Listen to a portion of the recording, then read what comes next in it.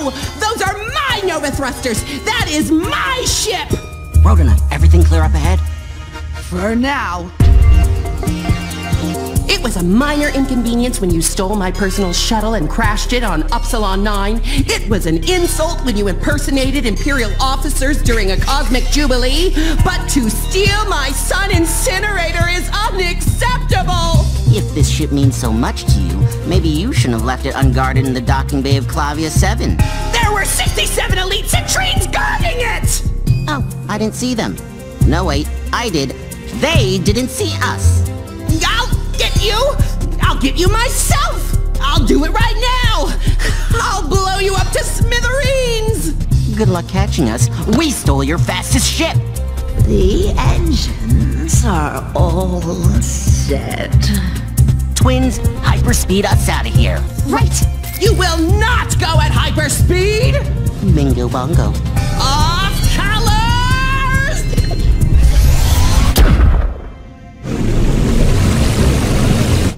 Man, she's been on my tail since Sector 4.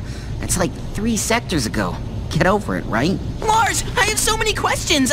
Where'd you get this ship? And more importantly, where'd you get that cape? Stole them.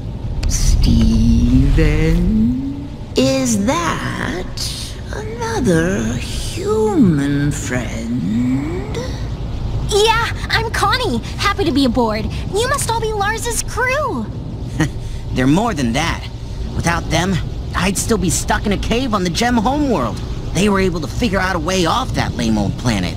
But we never would have been able to steal a ship without Lars. He can slip past all the scanners undetected. Her name is Connie.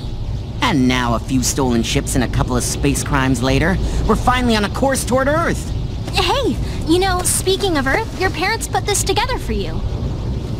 Oh. Oh, finally! Clean jeans! Oh man, and my skull gauges? These are perfect! They didn't have to do all this.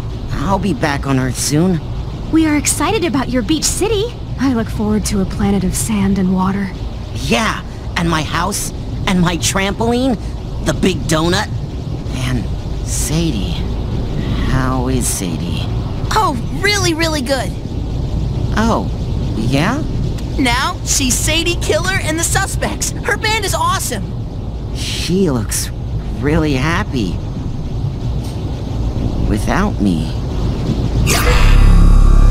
What's going on? Lars,